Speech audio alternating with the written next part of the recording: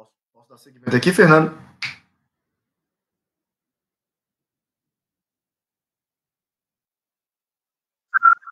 Ah, maravilha, muito obrigado, Fernando.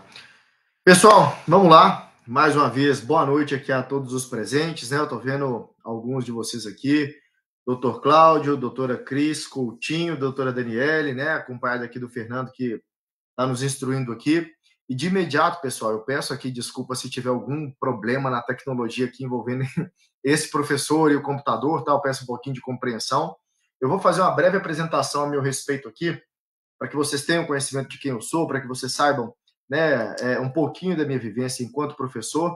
E daí em diante, vou falar um pouquinho sobre o concurso, vou falar um pouquinho sobre a banca, tá? É a primeira vez que nós estamos nos vendo aqui, é a primeira vez que eu estou tendo contato com vossas excelências diante desse cenário, tá? Espero poder contribuir aqui. O nosso módulo hoje, tá? É justamente tratando sobre exercícios. Nós vamos fazer um apanhado aqui sobre exercícios em se tratando da legislação municipal, das legislações municipais, né? Inerente ao próprio Código de Posturas, Código de Edificações, tá? Os decretos que os, que os regulamentam.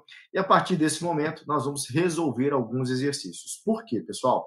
Não existe forma melhor do que fazer uma boa para fazer uma boa prova, se treinar. E como que se treina uma prova? Simulando essa prova. E como que a gente simula essa prova? Através da resolução de exercícios. Tá bom? Então, mais uma vez, cuidando de me apresentar aqui, meu nome é Hélio Vasconcelos Vieira, tá? É, atualmente eu sou professor é, de Direito, tá? Sou advogado, sou professor de Direito, e por ser professor de Direito, hoje leciono Direito Civil, legislação extravagante relacionada à esfera civil, tais como legislações municipais, tá? Hoje sou pós-graduado em Direito Civil, pós-graduado em Processo Civil, sou mestre em Direito Privado, tá? Além disso, sou professor em instituições de ensino superior e em outros cursos preparatórios para concursos, de igual maneira aqui na Aprobare, tá? Então, fica aqui uma breve apresentação sobre a minha vivência no ramo jurídico, minha vivência no ramo docente, tá?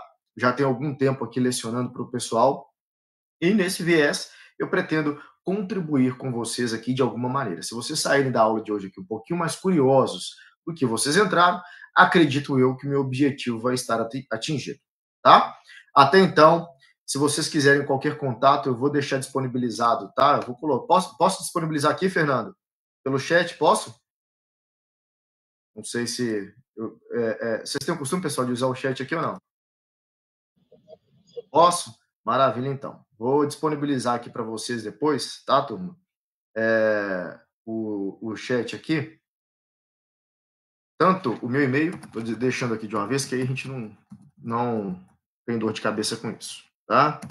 Tanto o meu e-mail, quanto eventual contato por rede social, tá? É o mesmo e-mail, é o mesmo é, é, usuário, tá bom? Estou colocando aqui para vocês para que vocês tenham ciência, tá? Mandei aqui no chat para vocês. Qualquer dúvida, pode me contatar por lá também ou pelo portal disponibilizado pelo pessoal aqui da Probar, tá bom? Então, feita essa breve introdução, tá? Vamos começar aqui hoje tratando um pouquinho do que é legislação, do que tratam as leis do município de Belo Horizonte, qual a relevância delas e vamos fazer uma interseção né? Não sei se vocês já têm o costume de estudar. Todo mundo aqui já, já estuda na área de concurso, pessoal? Não? Estou vendo aqui o Cláudio é, acenando ali com a cabeça, né? Parece que não, mas olha só, diante desse cenário, é muito importante nós termos conhecimento, é muito importante, é salutar que nós tenhamos conhecimento, tá? Justamente de como a prova vem com essa cobrança. E hoje, em se tratando do concurso para agente fiscal, tá? Em se tratando aqui para a prefeitura, o trabalho afeta a prefeitura de Belo Horizonte, é fundamental que nós temos conhecimento do quê? Da legislação relacionada à prefeitura de Belo Horizonte. E qual que é o perfil? Hoje a banca, né, o Instituto Brasileiro de Gestão e Pesquisa, IBGP, tá? E esse Instituto Brasileiro de Gestão e Pesquisa, ele tem uma metodologia, tá? Ele tem uma metodologia é, referente a toda é, eu estou vendo só a menção aqui. Claudio mencionou que não encontrou o conteúdo da, da, legislação municipal na plataforma, tá? Eu vou pedir para disponibilizar depois, tá bom, Cláudio? Eu falo porque acho que vocês vão ter. Vocês já tiveram aula de, de, de legislação? Eles têm as questões, foram dadas aulas em forma de questões, já estava na biblioteca tem bastante tempo.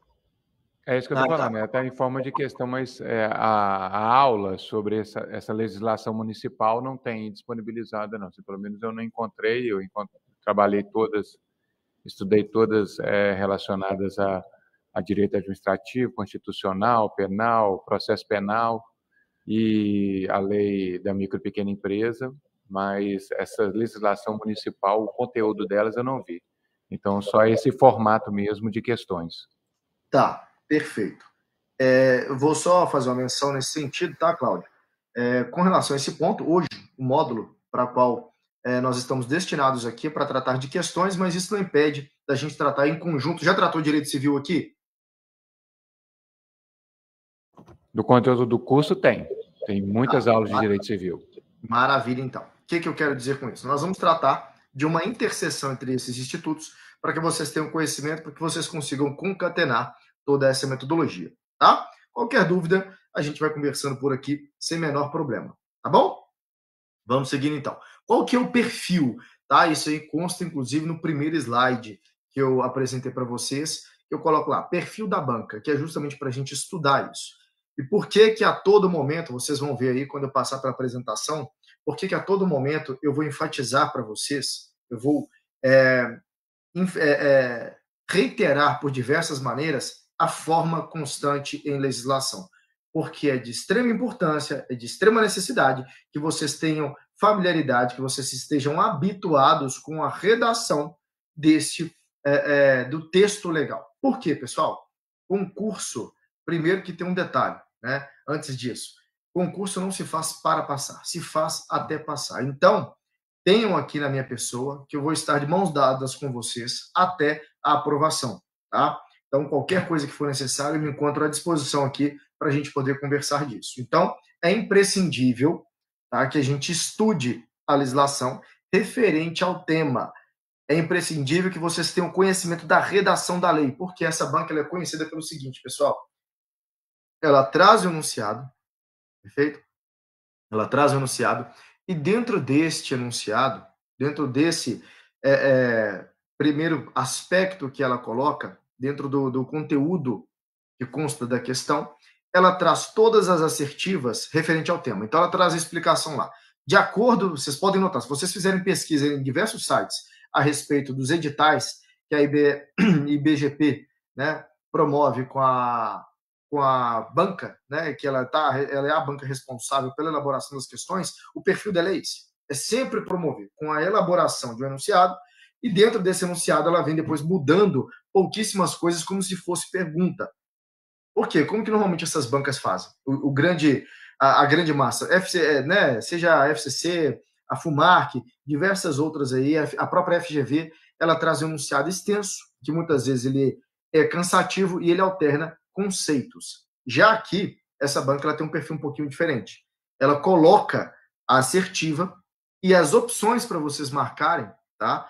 é, normalmente o tópico do conteúdo ela inverte. Ao invés dela dar o conceito para ver se você sabe, ela coloca o conceito e aquele conceito se refere a qual instituto. Como nós vamos ver aí, principalmente quando nós estivermos tratando de parcelamento do solo. Tá? Então, feita essa é, é, introdução sobre a apresentação, sobre a forma de contingência da legislação, sobre todas as tratativas inerentes à banca que vai aplicar o concurso, eu chamo a atenção para vocês e vocês vão ver durante a aula, eu vou bater muito nessa tecla, tá? Até então tá tranquilo, gente? Podemos seguir? Maravilha, então, tá? Quem puder sinalizar aí, maravilha. Se não puder, sem problemas, a gente vai seguindo aqui, tá bom? Então vamos lá, pessoal. A primeira coisa que nós vamos tratar aqui, é, vocês estão é, com acesso ao slide aí? Tá, tá com acesso ao slide?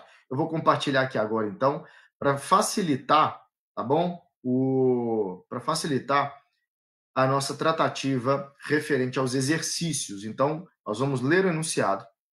Depois do enunciado, nós vamos ler as assertivas. E aí, ponto a ponto, nós vamos discutindo. Eu vou explicar para vocês como que normalmente é cobrado em prova. Tá? Então, além de a gente tratar de conteúdo, nós vamos tratar também de como fazer isso. Só um minutinho que eu vou compartilhar aqui, tá, gente?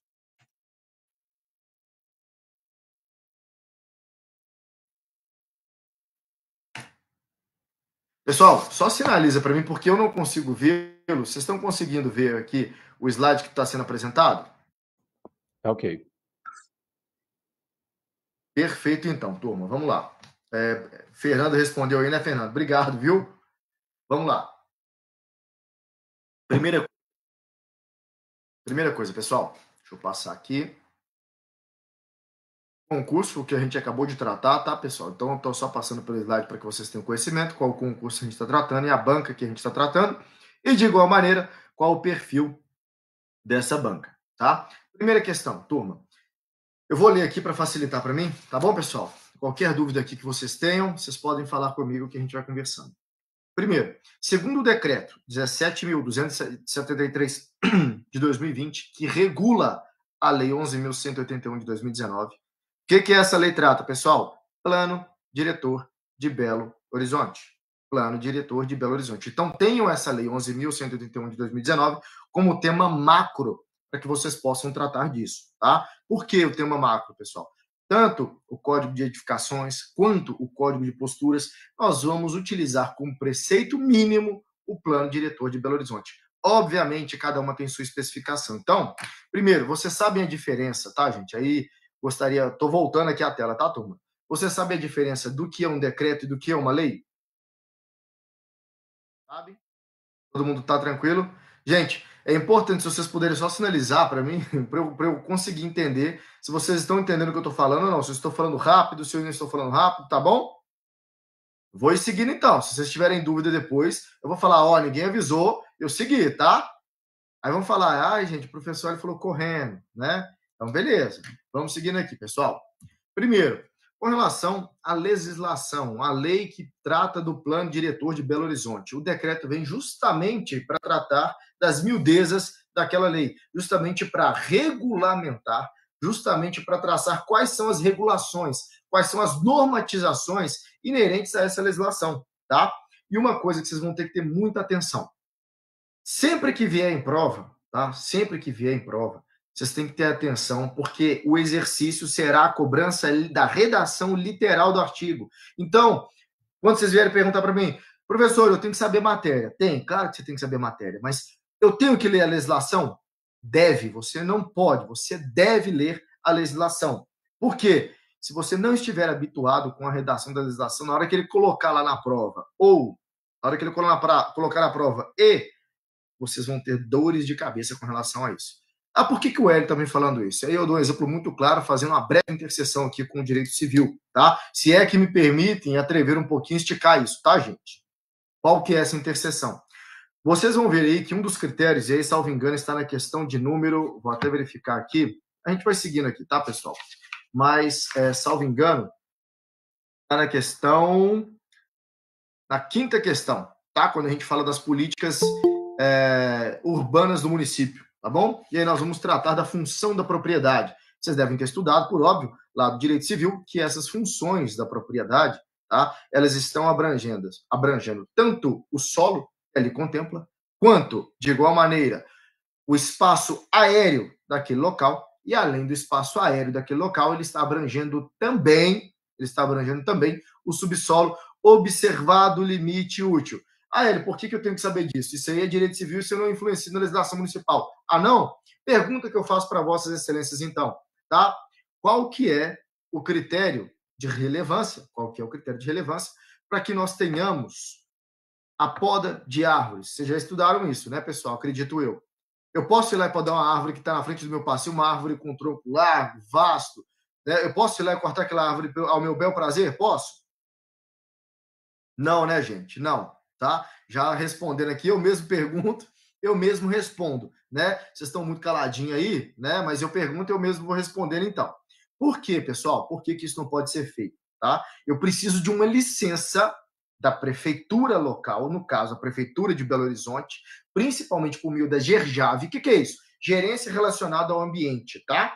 E aí, por meio dessa gerência, eu vou obter uma licença para realizar poda daquela árvore. Ah, professor, mas eu tenho exceções? Sim, você tem exceções. Somente se essa árvore, somente se essa plantação estiver colocando em risco ou grave risco pessoa ou ainda objeto, ou ainda o seu patrimônio, para estes casos, tá? Para estes casos, pode incorrer em poda da árvore somente em questão urgente, observado o limite que está prejudicando aquele imóvel ou aquela pessoa, observado o limite que gere risco àquela pessoa. Tá claro até então, turma? Eu tô falando muito rápido. Tá? O Claudio tá dando ok. Márcio tá entrando aí agora, não é isso, Márcio? Tá dando para entender, meu caro? A Cris e a Daniela elas estão com a, com a, vídeo, com a, com a chamada é, é, tampada aqui sem imagem. Né? Eu espero que esteja dando para entender, tá, pessoal? Qualquer sinalização aqui, vocês me comuniquem aqui se eu estiver falando muito rápido. Márcio, meu nome é Hélio, eu sou professor que está tratando de legislação e hoje eu estou tratando aqui do módulo de exercícios, tá? Nós vamos conversar um pouquinho sobre legislação municipal por meio da resolução de exercícios do qual estou apresentando aqui. Eu estou batendo muito na tecla para o pessoal, eu não vou. Vocês vão falar assim, eu saí da aula do Hélio com a cabeça, do, com a fala do Hélio, eu falo bastante, vocês estão vendo, né? Não paro de falar. Estou saindo daqui com a fala do Hélio na minha cabeça, porque no cara não para de falar o tempo todo que eu tenho que ler legislação. Por quê? Nós vamos pegar N exemplos aqui agora, vocês vão ver que é a redação literal do artigo. Se vocês fizerem uma pesquisa rápida da IBGP, que é a banca que hoje está no, no, cobrando, né, realizando o concurso, vai fazer as questões, ela traz o enunciado extenso e pergunta para vocês qual aquele enunciado se refere, qual instituto aquele enunciado se refere, tá bom? Vamos lá então para a primeira questão para a gente poder conversar. Tá? Espero que esteja todo mundo conseguindo visualizar bem, tá? Eu vou seguindo da leitura aqui, pessoal. Vou facilitar um pouquinho só com o meu acompanhamento aqui. Então, primeiro, a Lei 11.181 de 2019 ela vai tratar do plano diretor, são todas as diretrizes, são todos os critérios que o município de Belo Horizonte deve seguir. E oriundo desse plano diretor, tá, nós vamos ter outra, outras legislações correlatas que vão auxiliar, que vão galgar essa lei. Posteriormente, em 2020, nós vimos com o decreto, tá? o decreto 17.273, que veio regulamentar esse plano diretor. Isso aí, pessoal, ele também sofre diversas influências, tanto é que se vocês tiverem lido o edital, vocês leram o edital, turma? Leram, né? Tenho certeza disso. Se não leram, vocês são obrigados a ler, tá? Eu sou professor que pega no pé mesmo, sou chato, beleza? Vocês são obrigados a ler porque consta lá legislação, vírgula, e atu... só um minutinho, pessoal. E atualidades, tá bom? Então, de igual maneira, quando vocês devem ter ouvido falar aí antes do, do próprio edital aí, o próprio marco, né, o próprio marco do saneamento básico, tudo isso tem interferência direta. E para isso, a gente versa sobre o, o decreto que trata de questões relevantes a esse aspecto. Vamos lá. Seguindo, turma. Segundo o decreto 17.273, acabei de falar, decreto que regulamenta a lei 11.181 de 2019, a responsabilidade, quem tiver com slide impresso, grifa, circula a responsabilidade pelas informações prestas no requerimento de parcelamento do solo são letra A, do responsável legal pelo requerimento, do proprietário do imóvel a ser parcelado. Letra C, do engenheiro da obra responsável pelo projeto. Letra D, do Poder Executivo Municipal. Alguém aqui tem noção de qual assertiva possa ser a certa? Tem? O que, vocês acham, turma? Eu sempre brinco nas aulas que eu, que eu leciono, nas aulas que eu profiro, tá? Que se acertar a questão, acerta todo mundo, nós acertamos. Se errar a questão, quem que erra? Vocês, não eu tá? Vocês que estão prestando concurso, não é isso? então, é brincadeira, tá, gente? Senão depois vocês falam, vocês falam assim, nossa, o professor é né, bem hostil, tá falando que a gente está errando, né, não está estimulando. É brincadeira, tá, turma? Eu sei que tem muita gente cansada, eu sei que vocês já estão desgastados aqui de trabalhar o dia inteiro. Então, se a gente puder trazer o conteúdo que já é denso, que já é muito específico, de uma forma mais leve, melhor é. Então, perfeito. Com relação ao plano diretor, quem que é o responsável por dar entrada com relação aos parcelamentos de solo em Belo Horizonte. Neste primeiro viés, lá no artigo 3 do plano diretor, de igual maneira, observando o decreto, vai lá no decreto, artigo 3 que consta lá no decreto, que regulamenta o plano diretor, consta lá da seguinte forma, tá? Consta lá da seguinte forma: o responsável legal será, tá? Será legítimo para requerer o parcelamento do solo. Ah, Hélio, o que, que isso tem de relevância para mim? Por que, que eu tenho que saber disso? Ah, é decoreba de artigo? Não. E a gente tem que entender agora o porquê disso. Nós temos que entender, porque às vezes é o que a gente fala, o óbvio precisa ser dito. Tá? O óbvio, o óbvio, eita, perdão, precisa ser dito. Então, nessa primeira questão, a assertiva correta seria a assertiva de letra A, tá? Por quê, pessoal? É o responsável legal pelo requerimento. O que, que eu quero dizer com isso, turma, quando eu falo responsável legal pelo requerimento? Olha só. Vocês viram, já tiveram aula de direito civil, não já? Não já, turma? Gente, a cena para mim me ajuda. Vamos participar da aula. Já viram? Já viu, Márcio? Cláudia falou que já. Já viu, Márcio? Ainda não, né? Tá, então vou adiantando aqui um pouquinho. Eu preciso explicar um pouquinho porque isso aí está ligado à parte civil para vocês entenderem, tá? O que, que é um responsável legal? O responsável legal, pessoal, ele pode ser uma pessoa que não seja proprietário. Então, quando vem lá no exercício, proprietário bate o e fala: Nossa, é claro que é o proprietário do imóvel, eu vou lá e marco, porque o proprietário do imóvel pode tudo. Né? Ele pode tudo. Mas o que, que o enunciado quer ver? O enunciado quer ver se você tem consciência de quem é o responsável por requerer esse parcelamento do solo. O responsável é só uma pessoa? Não, não é só uma pessoa. Esse responsável não precisa ser necessariamente apenas o proprietário. Eu tenho o proprietário. Quem que é o proprietário? É aquele que o nome consta lá na escritura, tá? É aquele que o nome consta lá na escritura. Esse é o proprietário. O proprietário de um bem móvel é diferente do proprietário de um bem imóvel. Se eu vir e falar, eu tenho um apartamento, exemplo, tá, turma? Pelo amor de Deus, para vocês entenderem a diferença. Eu tenho um apartamento. E nesse apartamento, tá? Eu estou morando lá. Ok? Eu moro lá. Mas na escritura pública não consta, não consta o meu nome. Eu sou proprietário desse imóvel, em regra? Sim ou não? Como vocês não estão me respondendo, não, isso é posse, né? Pode ser até posse, mas não é proprietário, né? Perfeito, Cláudio. Que brilhante sua resposta. Obrigado por participar, viu, Cláudio? Pelo menos eu interagir melhor, tá bom? Olha só, perfeito. Você é possuidor, você não é proprietário. Então, pergunta a vocês: o possuidor, se estiver previsto em contrato, ele pode promover com parcelamento do solo?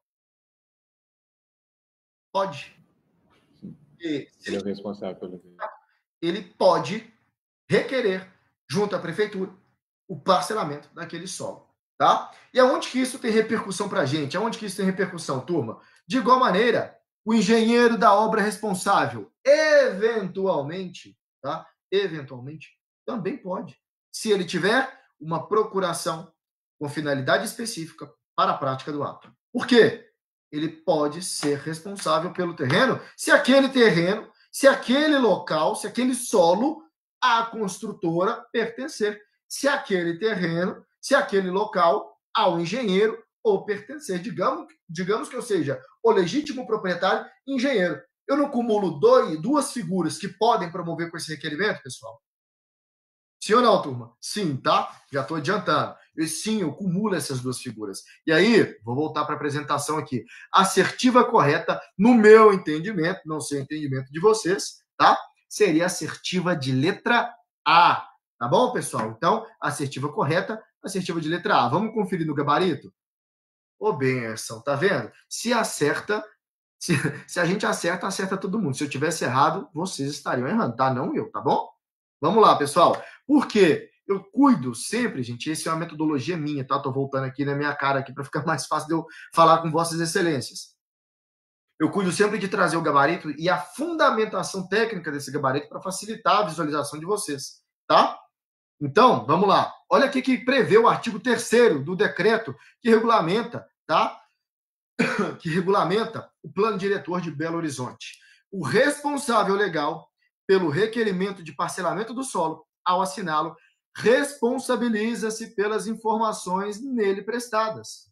Então, pessoal, se tiver qualquer problema, o responsável legal, seja ele quem for, poderá ser responsabilizado por aquelas informações. Vocês querem um bom exemplo? Vocês querem um bom exemplo? Vou pegar um exemplo aqui de área rural para vocês, tá? Vou pegar um exemplo aqui de área rural. Fazendo comparativo para vocês entenderem. Repito, fazendo comparativo para vocês entenderem, isso não é aqui no município de Belo Horizonte. O município de Itatiaiuçu, ele prevê que em loteamentos em zonas rurais, em áreas rurais, não se permite a realização de condomínios horizontais. Na área rural, eu não posso ter condomínio horizontal e não posso fracionar o solo em quantidade inferior a 3 hectares e meio. Aí se o sujeito vai lá e fala, está pedindo parcelamento de um solo de 10 hectares. E ele começa a fazer parcelamento de 2 hectares e meio. Pode? E se ele se manifesta falando que lá tem 3 hectares e meio? Na hora que vocês, depois de concursados, forem fazer vistoria, né? O que, vocês vão pensar nesse primeiro momento? O que, que vocês vão fazer? Vocês vão convalidar aquele parcelamento, pessoal? Óbvio que não. Óbvio que não, pelo amor de Deus. Se vocês estiverem falando que sim, se vocês estiverem pensando que sim, aí vocês vão ter um grave problema comigo, tá? Vocês vão ter um grave problema comigo. Passamos então pela primeira questão, quanto à responsabilidade legal, quanto ao responsável legal por promover com requerimento, tá claro para vocês? Tá, né? Maravilha então, turma. Gente, eu espero mais uma vez que eu não esteja falando muito rápido. Se eu estiver falando muito rápido, vocês me interrompam por gentileza, tá bom? Seguindo então, turma. Vamos lá. Questão de número 2, tá? Vamos facilitar aqui. Segundo o decreto 17.273, que decreto que é esse, pessoal? Esse decreto é aquele decreto que regulamenta o plano diretor de Belo Horizonte para aprovação de parcelamento e alterações de parcelamento do solo. Grifem se vocês tiverem com o slide impresso, pelo amor de Deus. É indispensável a apresentação de qual dado do imóvel. Pessoal, lembra quando eu falei para vocês que é necessário que nós tenhamos habitualidade, que nós tenhamos estejamos familiarizados com o que a lei prevê? É justamente por isso. Porque as assertivas pontuadas para a gente, ah, o professor está vindo me ensinar aqui fazer prova? Tô. Tô, sabe por quê? Porque eu já tenho uma boa caminhada nessa, nessa, nesse ramo de concurso e vejo que o candidato sabe o conteúdo. Isso aí é questão que nós temos aí diversas pessoas, temos candidatos a nível magníficos que erram questões por desatenção, porque a prova muitas vezes ela não está nem te exigindo o conteúdo, ela está te exigindo atenção se você está sendo frio para responder aquela questão. Porque no primeiro, num primeiro momento, tá, pessoal? Olha só. O projeto, vamos lá para a letra A. O projeto de parcelamento ou alteração do imóvel é a primeira coisa que a gente pensa. Se eu estou parcelando o solo, a primeira coisa que eu tenho que ter é o projeto de parcelamento, não é? Num primeiro momento, não é isso que a gente pensa, pessoal? É, é isso que a gente pensa. Estou parcelando, tenho que apresentar o projeto. Ok, mas vocês têm que lembrar uma coisa: a própria legislação consta dentro do próprio plano diretor, contra, consta próprio, propriamente dito, dentro do decreto que regulamenta esse plano diretor, tá? E o próprio projeto ele é o documento de ingresso. Ele é o documento de ingresso. E aí, sugiro a leitura lá do artigo 4 do decreto. Sugiro a leitura lá do artigo 4 do decreto. Tá?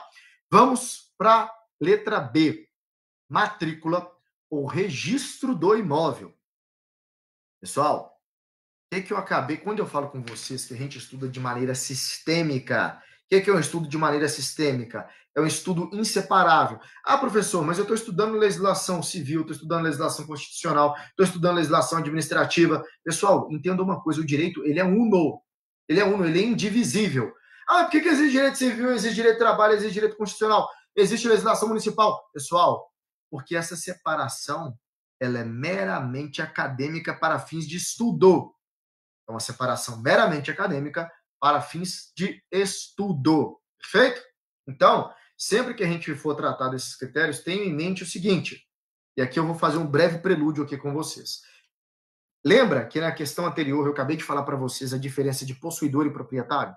Tá? E aqui, gente, eu não quero invadir na matéria e nos ensinamentos do professor que cuidou de direito civil, professor ou professora que cuidou de direito civil. Mas é porque a gente precisa daquele conteúdo para que eu consiga tratar com vocês dentro da legislação municipal. E o que, que é esse conteúdo? Lá nos termos do artigo 1226, lá nos termos do artigo 1227 do Código Civil, consta que o proprietário de bem imóvel, por que estou enfatizando bem imóvel? Porque nós temos bens móveis. O bem móvel, pessoal, vamos pegar aqui exemplo do meu celular, tá? O bem móvel, se eu pego esse bem, coloco ele na mão de uma outra pessoa, se a pessoa me dá o dinheiro e eu entrego o celular na mão dele, esse bem já é de propriedade dessa outra pessoa? É. Para bens móveis, a tradição, a transmissão do bem propriamente dito, aperfeiçoa o negócio jurídico. Então, para todos os efeitos, o bem móvel ele tem um aperfeiçoamento com a tradição. Ponto. Já no 1227 fala que os bens imóveis, os bens imóveis têm a sua propriedade transmitida mediante registro da escritura no respectivo cartório. Então, somente será proprietário de um bem imóvel, em regra, em regra, aquele que possuir, aquele, perdão, aquele que tiver, que contiver na escritura pública com seu nome. Então, eu moro num apartamento, beleza? Exemplo, tá, turma? Eu moro num apartamento. Eu fui lá para o antigo vendedor, paguei para ele 300 mil reais. Paguei para ele. Não registrei a escritura, não modifiquei a escritura, tá? Eu sou o proprietário deste apartamento? Não. Por que, que o Hélio está batendo nessa tecla? Por que, que o professor está batendo nessa tecla? Olha, mais uma vez, nessa segunda questão, a gente precisando desse conceito. Por quê?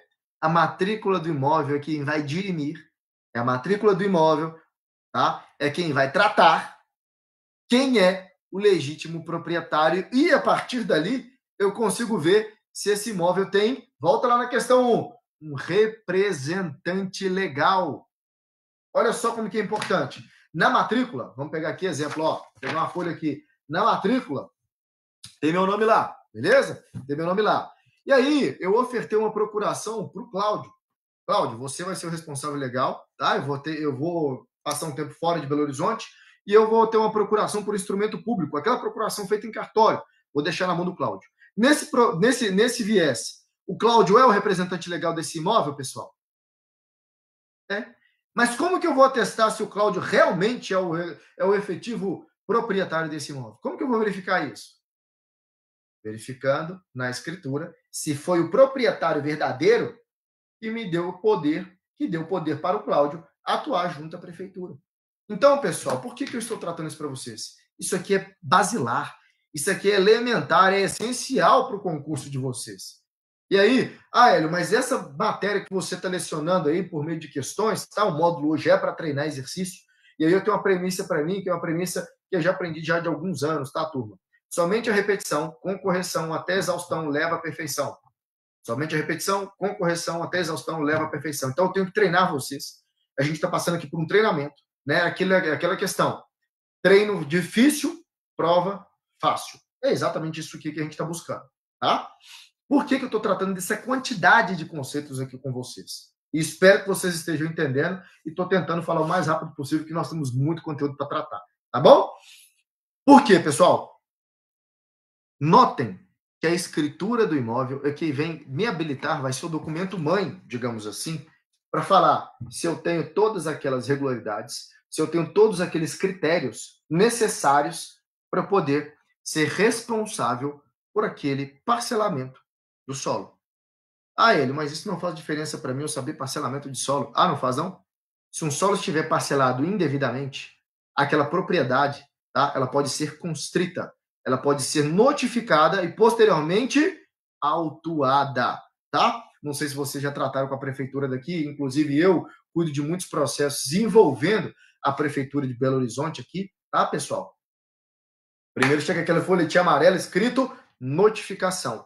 Aí eles me dão prazo, a depender do caso, tá? Eles me dão prazo, nós vamos ver isso aqui quando a gente estiver falando ainda do plano diretor, quando a gente estiver falando um pouquinho de edificações, nós estivermos tratando de passeios. Ela vai lá me dar o prazo de cinco dias para regularizar meu passeio. Aí o fiscal volta lá depois de cinco dias. Se eu não tiver regularizado naquele prazo, tá? Eu sou autuado. Então, o que, que muitas vezes as pessoas ignoram? Isso aí está justamente inerente ao código de posturas que nós vamos estudar já já, tá? Isso aí está justamente vinculado à atuação fiscal para todos os efeitos legais. Eu primeiro notifico, dou prazo para regularização, não regularizou, eu multo. Tá? Aí, Hélio, como que eu vou regularizar isso? Não consigo resolver o passeio em cinco dias. O que vocês vão orientar? Na própria notificação consta isso, já é automático. A própria notificação da prefeitura tem, e dentro do Código de Posturas também é exigível isso. Peça um requerimento de concessão de prazo. Então, aí vocês estão, poxa, o Hélio está falando uma coisa que não tem nada a ver. Pessoal, vem lá na prova, sim. É possível o, ao munícipe, ao cidadão, requerer prazo enviadas após a notificação proferida em seu desfavor. Aí tá lá, verdadeiro ou falso. Ou então, coloca assertiva verdadeira, aí marque as três verdadeiras, marque três falsas. Nós vamos ver que eu trouxe um exercício para vocês aqui também dessa maneira, para que vocês estejam habituados com o tipo de questão. Então, nessa, nesse primeiro posto, tá? Eu. Vocês estão vendo o meu cursor do mouse, pessoal? Tá? Estão vendo quando eu passo ele aqui? Vocês podem só me responder para ficar fácil? Vamos, turma! Me dá só um ok aqui para eu saber. Mas você está passando ainda, porque agora ele sumiu. Eu estava vendo, mas ele aqui, sumiu. Ó, tá vendo aqui? Ah, tô vendo, tô vendo. Ele Maravilha, fica, obrigado, ele obrigado, meio, obrigado. Meio eu entendo que a assertiva B seja mais interessante. Perfeito? C.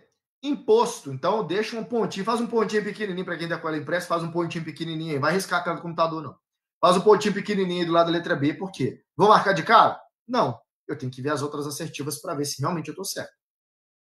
Imposto sobre a propriedade predial e territorial urbana. O que, que é isso, turma? IPTU. Gente, pensa comigo uma coisa. Para eu requerer o parcelamento de solo, para eu requerer todos esses critérios, eu preciso de apresentar o IPTU propriamente dito, se a própria prefeitura consta isso. Se a própria legislação já faculta isso. Ele é o documento indispensável para isso? Não. Regularidade fiscal é uma coisa. Regularidade fiscal é uma coisa. Apresentação aqui, notem, o exercício está perguntando, tá? Sobre indispensabilidade de documento. Qual documento é indispensável? Gente, aqui por fim não vou nem falar nada nessa aí, vocês me ajudem. A D eu eliminaria de cara. Conta de água ou luz do imóvel, gente? Não. Não. Não tem nada a ver com a pertinência do nosso artigo. Então vamos lá, vamos para o gabarito. Qual questão vocês marcariam então, turma, junto comigo? Assertiva de letra B, né, gente? B de beta, não é isso? Vamos passar aqui para a gente ver o gabarito? Vamos. Vocês não estão respondendo, eu vou falar por mim mesmo. Então vamos, tá? Turma, olha só, vejam comigo aqui, vejam comigo aqui. Artigo 4 gabarito letra B. Mais uma vez, nós dominando, né? A gente dominando o assunto, acertamos a questão. Vamos ver o artigo 4 falei com vocês logo no início para aprovação de parcelamentos e alterações, né, referente de parcelamento do solo, é indispensável a apresentação da matrícula ou do registro do imóvel, destinada exclusivamente a identificar a gleba a ser parcelada, não se prestando à análise de titularidade dominial dos terrenos. Parágrafo 1 a matrícula ou registro que não indicar a localização, o formato, as dimensões ou a área do imóvel deverá ser retificado em cartório de registro de imóveis nos termos da lei federal, tá? Pessoal, o que que isso traz para a gente, turma? O que que essa questão afeta ao artigo 4 Deixa eu só anotar aqui então, pessoal, letra B. O que que essa questão traz para a gente? Qual a importância disso, tá? Qual que é a relevância disso para a gente aqui na tratativa de hoje? Notem, lembra que eu falei que para a gente ser proprietário de qualquer bem, a gente tem que ter o nome na escritura? Na escritura, seja imóvel urbano, seja imóvel rural. Tá? Então, zona urbana, zona rural, preciso ter a escritura dele. A única exceção que eu não preciso ter escritura, tá? E aí vocês vão ver lá no artigo 108 do Código Civil, são imóveis cujo valor seja inferior a 30 salários mínimos vigentes à época. Nesses casos, a gente não vai precisar considerar isso mas eu preciso ter as especificações técnicas. Eu preciso ter as especificações técnicas daquele imóvel, tá? Se ele tem confrontantes, se ele não tem confrontantes, se é uma propriedade com lote já previamente dividido, se não é, se existem coproprietários, tá? Tudo isso tem que constar na matrícula. Mas neste caso, qual que ele versa?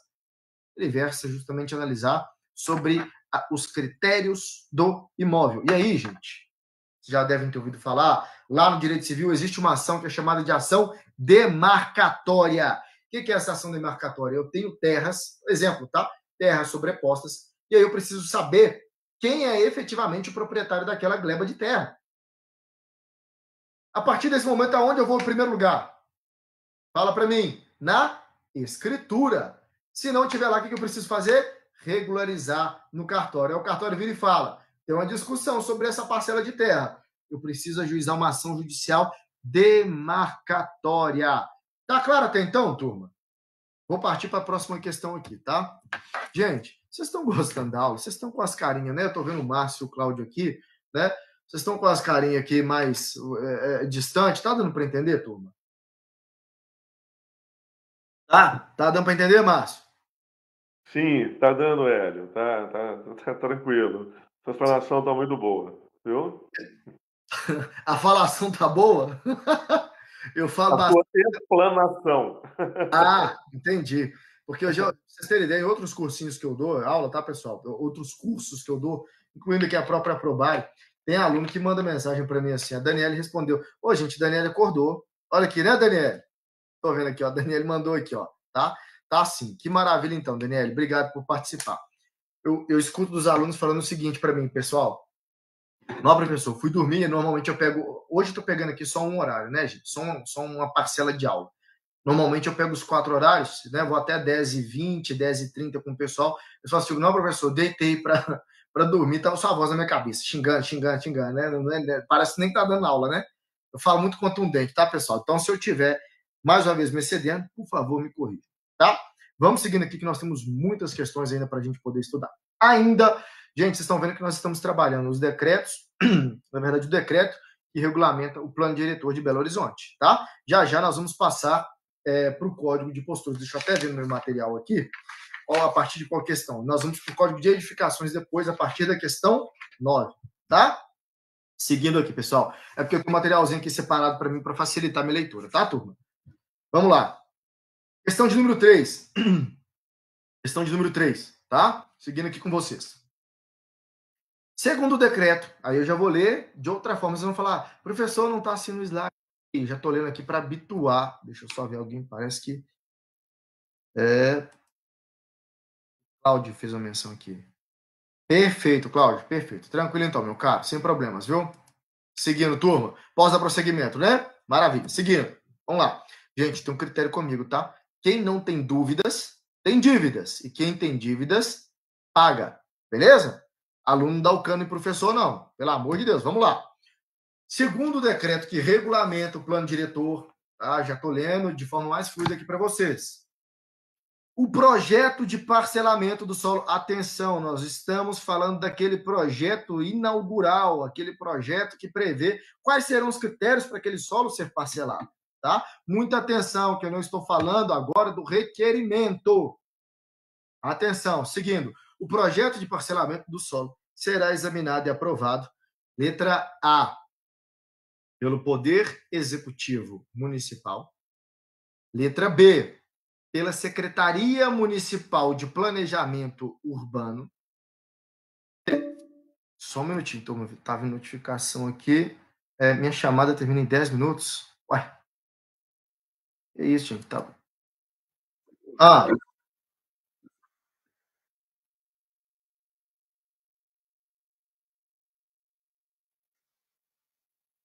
Maravilha, meu caro. Maravilha. Perfeito.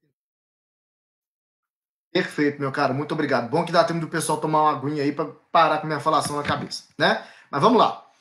Seguindo então, turma, nós temos 10 minutos aqui para terminar a questão de número 3. Bora. Em se tratando aqui da questão de número 3, já lemos, pela Secretaria Municipal de Planejamento Urbano. Gente, muita atenção. É justamente nessas horas que o enunciado tenta confundir o aluno. São justamente nesses momentos que o enunciado tenta trair o aluno na assinatura da questão, tá? Letra C, pelo órgão municipal responsável pela política de regulação urbana. E letra D, pelo órgão gestor de parcelamento do solo. Gente, qual que seria o óbvio da gente marcar no primeiro momento? Vamos lá. A gente pega pelo óbvio, a gente vai para aquilo que a cabeça da gente assimila que seja o mais óbvio. Gente, peraí, se eu estou pedindo um projeto de parcelamento do solo para ser examinado e aprovado. Então, obviamente, aí o que, que a gente faz? Vai pelo óbvio. Pelo órgão gestor de parcelamento de solo. Negativo, pessoal. negativo. Ah, vou pelo Poder Executivo Municipal. Quem é o Poder Executivo Municipal, pessoal? Em regra, representado na estrutura da. Prefeitura, pelo prefeito, né? Executivo. Ah, obrigado, Cláudio. Obrigado você está participando. Tá? Ô, gente, só uma pergunta aqui. O Fernando, não tem problema pedir os alunos para interagirem, não, né? Tá, Jóia, meu caro. Obrigado. Vamos lá. Seguindo então, pessoal. A partir desse momento, tá? A gente pega e fala, poxa, a prefeitura, gente, obviamente a prefeitura, ela vai gerir, ela vai administrar, ela vai tratar das questões macro referente àquela atuação, referente àquelas questões. Ela não está vinculada propriamente dita como órgão responsável, tá? A prefeitura, ela vai ser principalmente se tratando do poder executivo municipal. Aqui eu estou falando da tripartição de poderes previstas no próprio direito, na nossa própria Constituição, que não seria aqui a, a, a assertiva correta. A gente fala isso quando cabe ao ente municipal legislar sobre interesse próprio, lá no artigo 30 da Constituição. E, coincidentemente, nós estamos tratando aqui do artigo 30 previsto no decreto. E o artigo 30 prevê de maneira cristalina, turma, que será aprovado pelo órgão, letra C. Letra C, é assertiva correta, pelo órgão municipal responsável pela política de regulação urbana, tá? Vamos lá para o gabarito, deixa eu passar aqui. Gabarito, letra C. Vamos ler? Olha só, quando trata dos projetos, o projeto de parcelamento do solo será examinado e aprovado pelo órgão municipal, pelo, pelo órgão municipal responsável pela política de regulação urbana, mediante requerimento instruído com a documentação pertinente. E aí, vou voltar porque o nosso estudo é sistêmico. O que é um estudo sistêmico? Nós temos que contemplar a ida e volta. Nós temos que estudar de maneira concatenada, de maneira complexa. Para quê? Para que vocês não sejam traídos ou enganados no momento da prova. E o que, que eu quero dizer com isso, turma? Qual que é o viés que eu quero tratar disso com vocês, tá? Pergunta que eu faço, a gente acabou de passar.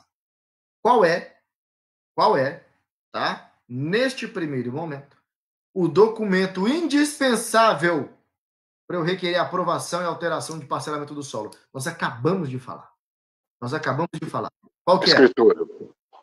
Perfeito. Matrícula ou registro do imóvel. A escritura, lembrando, tá? Lembrando que a escritura ela vai justamente constar a matrícula, mas na matrícula eu preciso exatamente desse documento. Então tenham em mente a matrícula ou o registro do imóvel.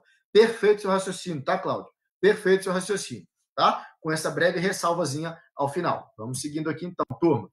Vamos pegar a questão 4, questão de número 4. Tá? Professor, só antes de você passar para a próxima questão, essas, é. essas aí elas não estão com indicação se elas são do IBGP ou, ou é de outra banca, da onde que elas estão, ou, ou de outro concurso mesmo, né? Qual que a origem dessas questões, ou se foi você mesmo que elaborou, né?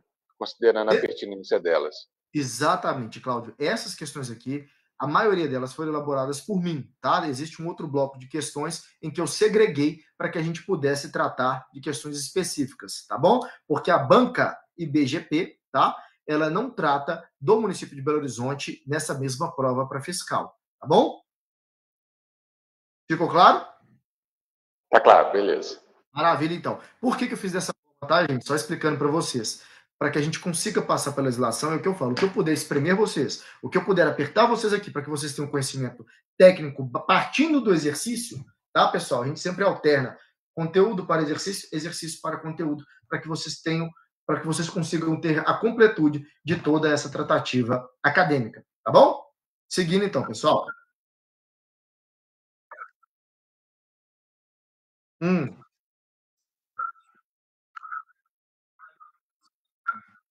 Tá. Perfeito. Tá, vou parar a apresentação aqui então, tá? Você me.